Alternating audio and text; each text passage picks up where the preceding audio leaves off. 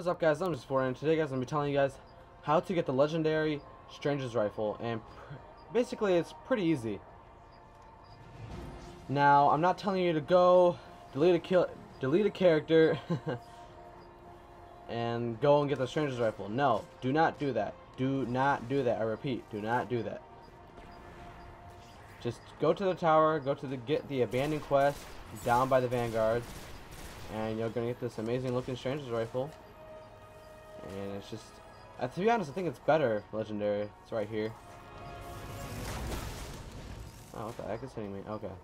But yeah if you guys want to go get it it's the abandoned stranger's rifle. I'll show you guys in just a second. So I'll be right there in just a second. Alright guys so we just dropped to the tower. So now we're gonna see where do we gotta go to claim our stranger's rifle. Purple. Legendary. Whatever you want to call it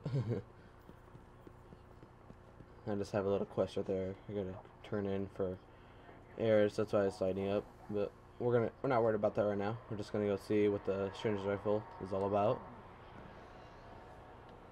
Okay, so you gotta go to access abandoned quest, and it's around the vanguard. So just go here,